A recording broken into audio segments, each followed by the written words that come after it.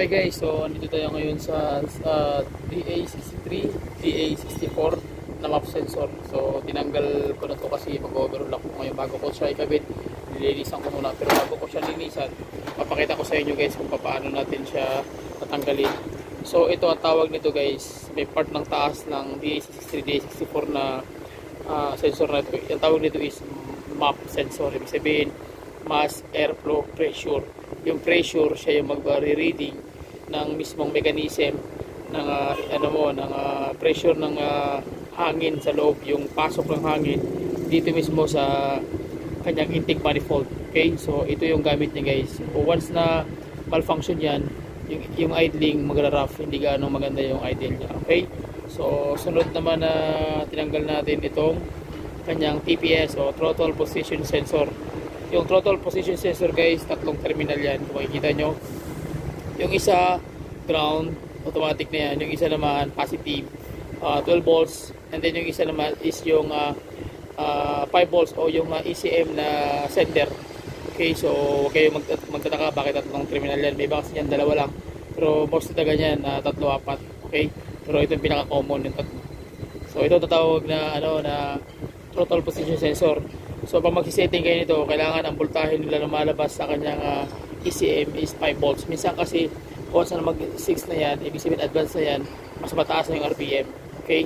So kailangan, and then minsan magbaba baba naman, below 5, ibig sabihin mababa yung RPM. So dito ka rin mag-adjust. Okay? So ibig sabihin nito, siya yung magko-control mismo sa yung throttle position sensor ng iyong uh, idling stage. Okay? So kung meron kayong pwedeng idagdag, pwede mag-comment just uh, comment down below guys. And then ito naman tatawag na IECB valve for intake air control valve. So dito naman naglalaro guys yung uh, meron kang tatawag dito na ayan oh, yung cooling system. Yung cooling system niya, lalamig iinit yan dahil wag pag once na nagpa-under ka ng makina mo. So hahanapin niya yung tamang idle o yung, yung tamang temperature ng engine. Once ma-reach niya na yon, mag-open close na ito. So magpa-function na rin to kung paano niya uh, i-control kung bibigay siya ng uh, uh, feedback kay uh, ECM na ito na yung temperature sensor. So, ibig sabihin, kailangan na niyang mag-open kasi nga na-reach niya na yung, kailangan niya na mag-open or mag-close kasi na-reach niya na yung uh, temperature na akma para sa kanya. So, mag-function na siya guys. So, makita niyo yan, lima yan, limang terminal yan. Kung ako nagkakamali, lagi na always may ground yan, may may uh, positive talaga yan na 12 volts and then may sender na 5 volts and then mayroon din yan na 1.8 1.8 and then 1.9 1.7 na, na voltahe. Tapos minsan ano yan na nawawala babalik nawawala babalik. So ano yan na centralized yan ng ECM so control yan ng ECM and then yung pag shut off niya meron din yan uh, itong wire na dito guys hindi ko lang alam kung saan dito. Meron din yung connection ng kanyang uh, sa temperature sensor. So meron din yan dito. Kaya magugulat ka uh, sobrang dami almost anim sila kasi uh, ano to uh, uh, mayroon niyang coil. Ibig sabihin mayroon niyang magnetic field sa loob. Kaya once nga na reach niya na yung tamang init magagaling siya guys. So, ayun. kaya may spring ibig sabihin ano yan uh, bababa ah, magtataas bababa tataas. Para mag-lock siya dito sa supply ng kanyang uh, air ano yung uh, uh, intake air control valve. So kung kontrolin niya yung uh, pasok ng minor mo. Si ito yung magbibigay ng uh, sistema Okay? So, yun ang mga basic pointers guys. So, okay na. Gagawin natin. Tatanggalin natin to. Ikakabit natin to ngayon sa mismong uh, pinoverall natin. So, ito yung mga basic pointers na pinapakita ko sa inyo para kahit paano meron kayo idea. Kasi talamak talaga ngayon yung uh, dagsa ng maraming mga big eye engine. Especially mga Suzuki na surplus. So, ito yung mga problema karamihan nila. Kaya uh, binablog natin to para makita paano makuha nyo yung uh, uh, basic pointers kung paano siya malalaman. Okay? So once may may problema yung sensor mo na yan, mag-appear yan, mag, mag makikita mo yan sa dashboard, uh, mababasa mo na yan, then lalabas yung kanya natawag na check engine. So, ibig sabihin may problema yung sensor o either electrical connection or wiring.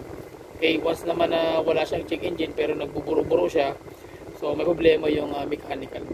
So doon yan nagkakaroon ng difference guys magtataka ka wala kang check engine pero yung makina mo ayaw ng mandar o nabuburo-buro or tawag niyan yung walang hatak, walang power so nasa mechanical na yan okay so, buksan mo natin ito tapos nililinisan natin guys okay tanggalin ko muna. So, balik tayo.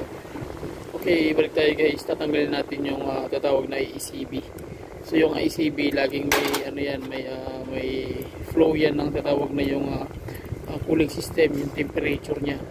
Kasi once na ma-reach niya na yung uh, tamang init, magbibigay siya ng signal sa ECM para yung idling uh, stage ng kanyang uh, under ng engine eh mag-stable. Pumalo siya ng mga uh, 850. Maglalaro yan sa 750 to 850 na idling stage. So yan ang pinaka maximum, yung pinaka the best na idling stage guys.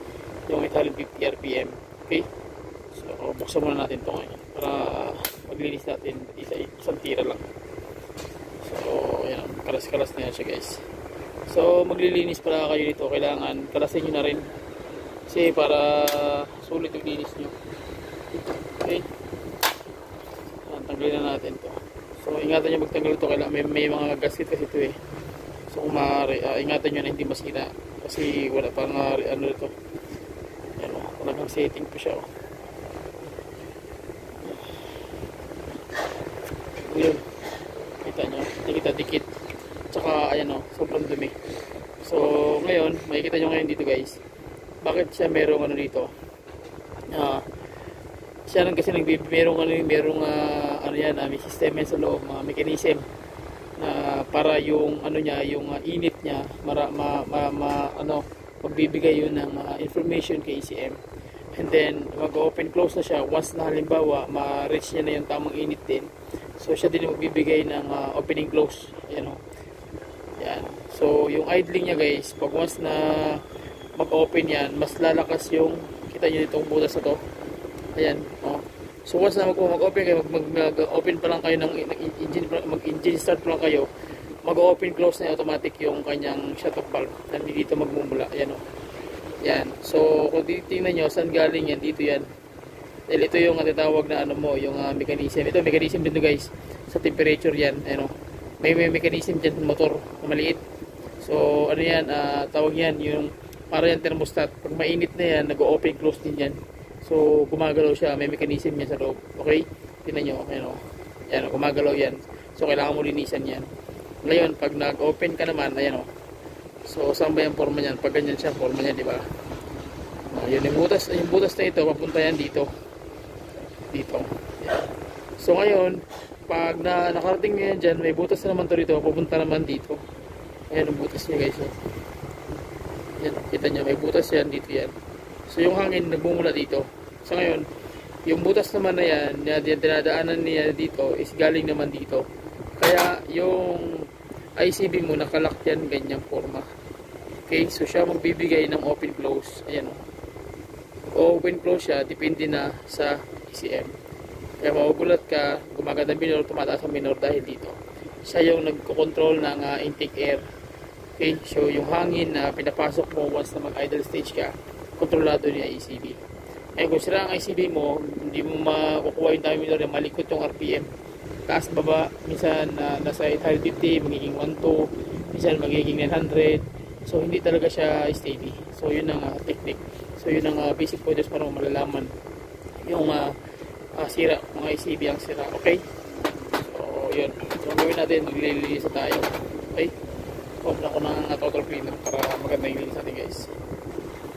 Okay, maglilinis tayo guys ng uh, throttle body.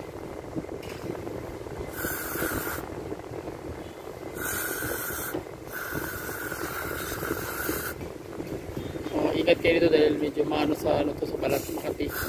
Dahil penetrated guys. Kaya ingat kayo na hindi kayo ma-expose sa ano to, chemical sobrang. Ito naman yung butas ng kanyang uh, mass airflow pressure.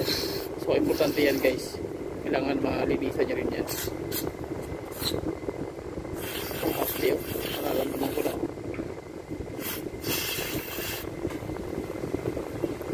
is kumay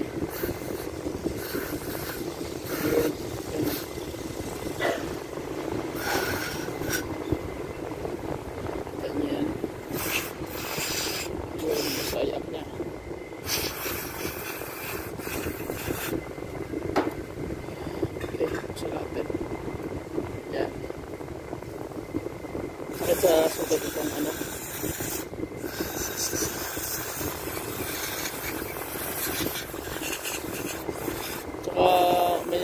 nag-inquire sa akin kung pag naglinis ba daw pa raw ng ah, total body, ano po ba dapat gawin? Lalagyan po ba ito ng sealant?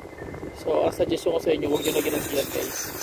Kasi hindi yan na, ano, hindi siya nakakatulong. Bakit? Kasi nga, ano yan eh, ah, mababarahan yung mga maliliit na butas tulad ito. So, pag nabarahan yan, masakit sa ulo yan, kay yung makina mo inaandar. Okay, dahil kulang na siya ng ah, hangin. Na natakpan mo na mismo yung kanyang ano. Kaya huwag mo na lalagyan ng ano, huwag mo na lalagyan ng silat or silicone gasket. Okay? So, yung mga basic pointers guys. So, dito nakalocate yung kanyang total body, ano, total position sensor o TPS. Okay, so okay na yan. Natin. Okay na guys, malinis na.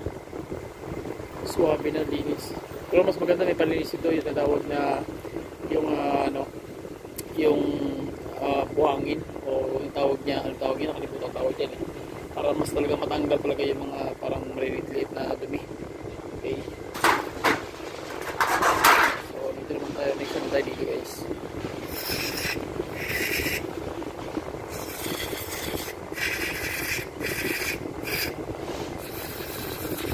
pag nag-overall kayo, kailangan yan linisin nyo talaga. So, kung hindi nyo nalinis, nalinisin ng mga mabuti, nagkakaroon siya ng ah, problema sa idling. Mulat ka bagong overhaul, bakit pangit ang andar. So hindi mo, hindi mo makuha yung tamang ah, arangkada o yung tamang ah, idling na tipong ah, hindi mo na marinig yung makina pag umaandar. So yun dapat guys ang birada dyan.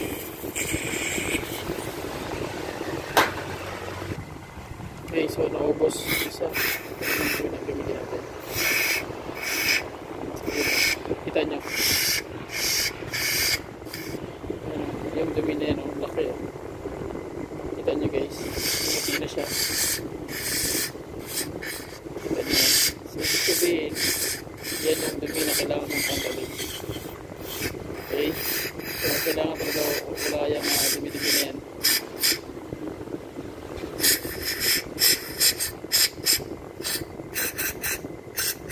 Dami-dumi yan. Ang dami.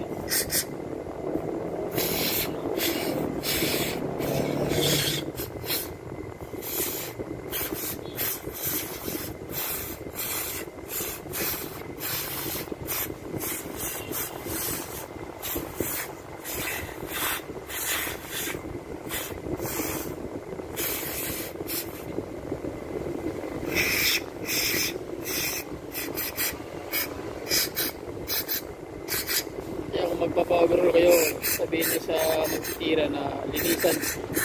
Hindi lang yung engine, pati yung mga sensors para sulit talaga yung ano guys.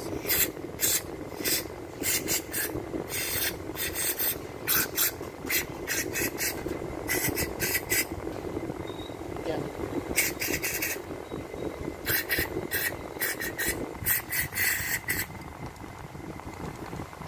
Lamig.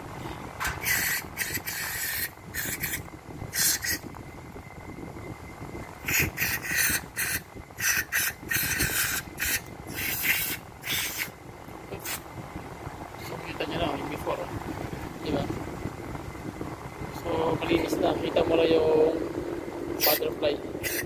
So, maganda na yung play nito.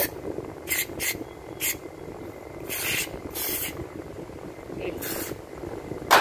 Dito naman tayo sa IECB.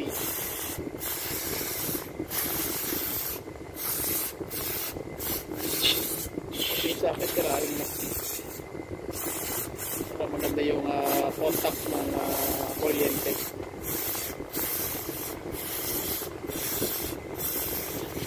Okay. Yung pressure switch guys. Kailangan din yan. Para malinis talaga siya. Malakas yung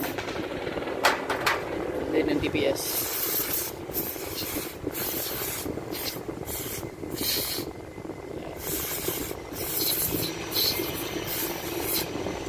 Okay, bata. Ah, lamig sa kamay. Okay guys, mag-assemble na tayo. Maglililis pa na ako. Okay guys, so mag-assemble na tayo guys. Ito yung kanyang uh, tinatawag na ano, Asan ko na para umibis. Yung um, ano, mass pressure. So, reading yan para magugulat kayo pag once na mayroong vacuum leak magtataas RPM mag yung uh, nag-reviving yung engine dahil sa yan. Tsaka yung ano yung vacuum leak. So nare-reading yan guys. So kapit mo dahil dito. Kapatid mo natin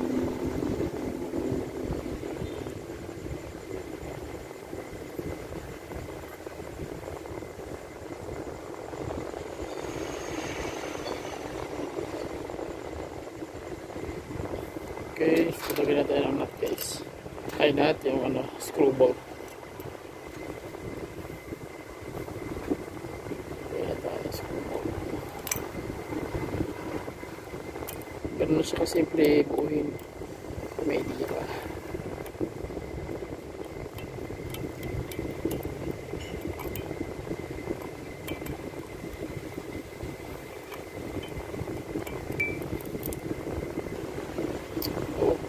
Okay, so maghihigpit tayo.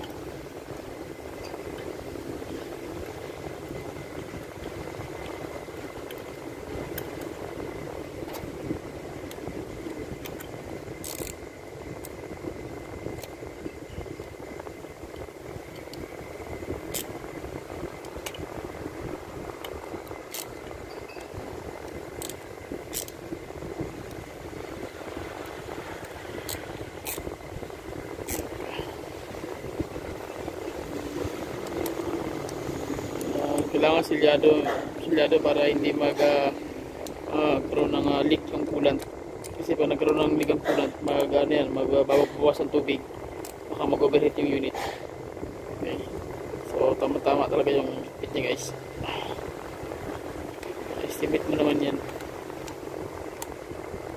Mahalaga na linisan na yung buong mechanics yan dito sa loob. Kasi may iba kasi naglilinis ito hindi nila ito sinasali Uh, mali kapag na nakasali yan guys.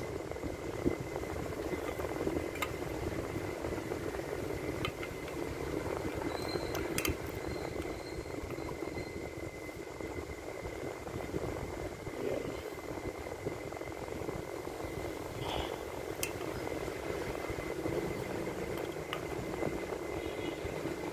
Ayan. So, kapit na tayo nito.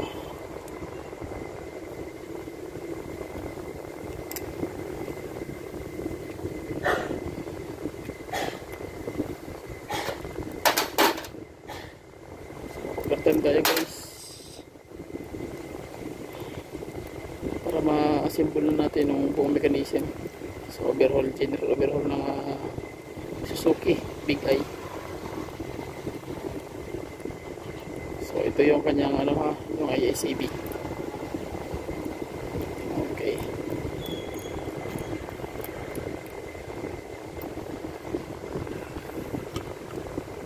Okay, so maghihigpit kayo doon kailangan tama-tama lang din.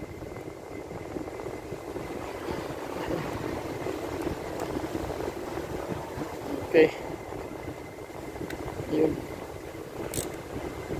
Okay. Sunod is yung kanyang uh, pressure switch. So, kita nyo yung pressure switch. Yan ang maliit na yung butas yan. Pero malaking ano yan guys. Malaking, uh, malaking tulong yan. Yan yung pressure na y- ng airflow, yung mass airflow sensor ng kanyang uh, pressure. I-reading nito. Yung laman ng buong mechanism ng uh, intake side. Ganun ka, ano,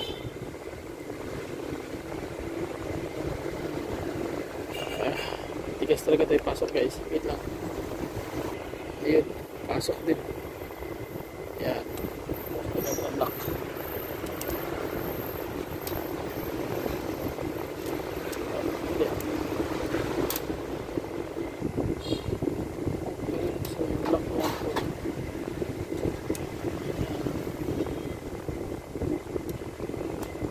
to walang walang timing yan. Kahit ang position yan guys.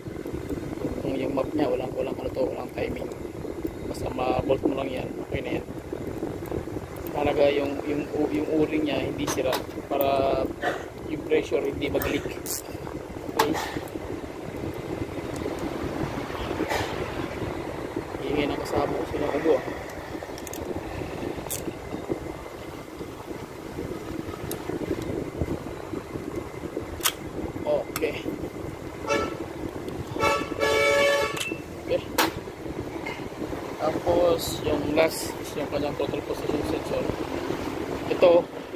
mo yung timing nito pag magtanggal ganito.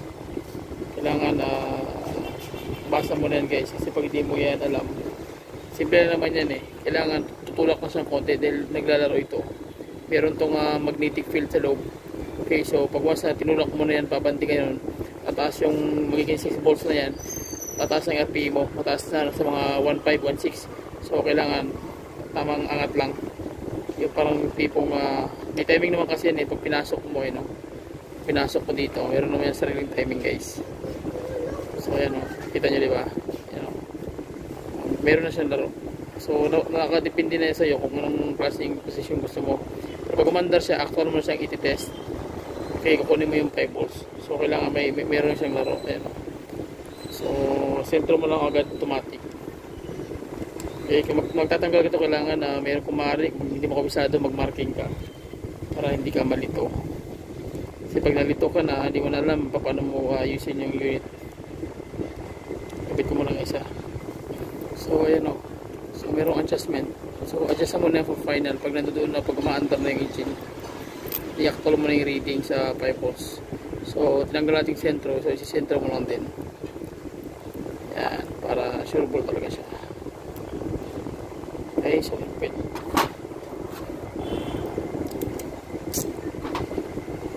i-open na yung kabit set okay itan na okay. And then kakabit na natin dito sa kanyang body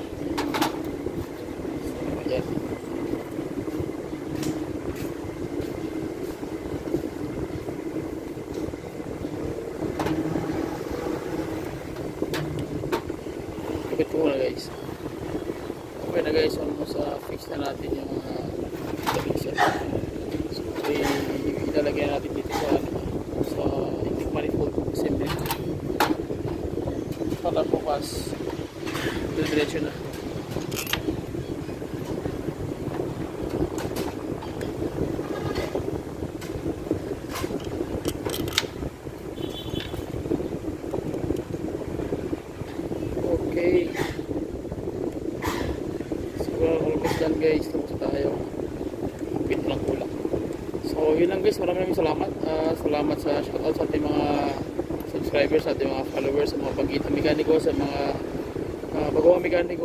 Unit owners. God bless inyo lahat guys. Walang sa walang sawang suporta. Then, uh, please subscribe to my YouTube channel, share it, and comment down below. And then,